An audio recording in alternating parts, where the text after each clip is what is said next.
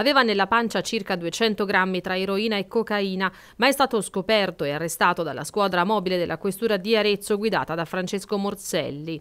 L'uomo, un 31enne nigeriano, era appena arrivato in città da Napoli, presumibilmente per rifornire le piazze aretine. È stato fermato dai poliziotti perché sospettato di essere un corriere della droga.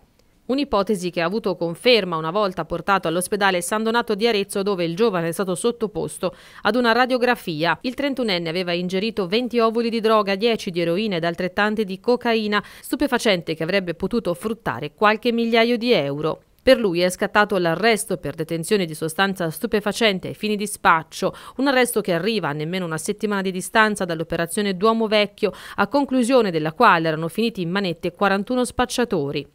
Il Parco del Pionte ha ancora un sorvegliato speciale da parte delle forze dell'ordine e con esso anche Campo di Marte, impegnati non solo gli agenti della Polizia di Stato, ma anche quelli della Polizia Locale di Arezzo.